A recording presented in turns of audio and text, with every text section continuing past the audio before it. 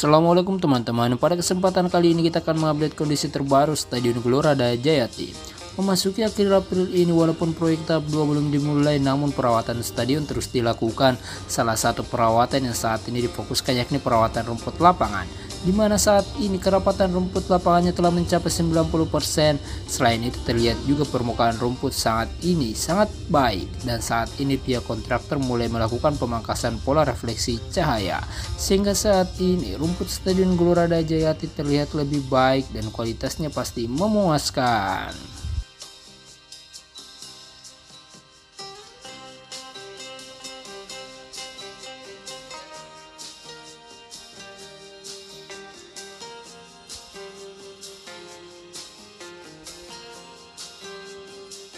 Dalam pembangunan tahap 2 nanti, hal-hal yang belum selesai di tahap 1 akan dirampungkan.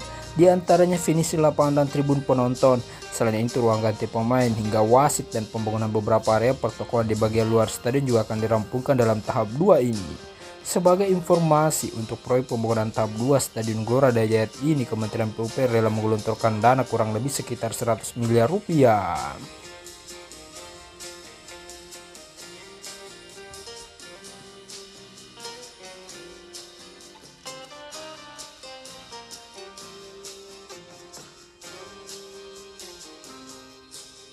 Sehingga jika di total pembangunan Stadion Gelora Dajat ini secara keseluruhan akan menghabiskan dana sekitar 250 miliar rupiah. Namun hal itu sangatlah wajar mengingat Stadion Gelora Dajati ini tidak hanya ditujukan untuk olahraga saja setelah rampung dibangun dan beroperasi nanti. Sesuai konsepnya yang mengusung sport business and entertainment, stadion di Kabupaten Kediri ini akan menjadi pusat perekonomian baru. Gedung Mega itu nantinya akan menjadi tempat penyelenggaraan berbagai macam kegiatan kemasyarakatan mulai dari pameran, konser dan kegiatan berskala besar lainnya.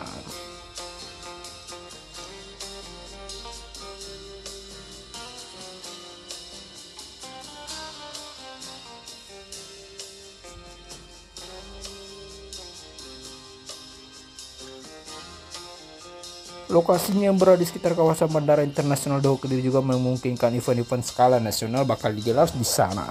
Tak hanya itu, stadion juga bakal mengakomodasi para pelaku usaha kecil menengah, yakni dengan menyiapkan stand-stand UMKM yang menjual produk unggulan Kabupaten Kediri. Stadion juga tidak hanya digunakan untuk sepak bola, tapi akan dilengkapi sarana olahraga lain misalnya basket dan olahraga lainnya. Bapak Bupati Kediri Bapak Handito Himawan Pramana.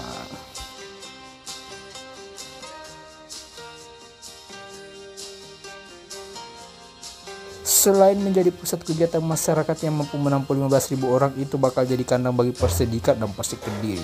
Hal itu diperkuat dengan fakta bahwa Stadion Keluarga Jayat ini dibangun sudah sesuai dengan standar Federation International de Football Association atau standar FIFA.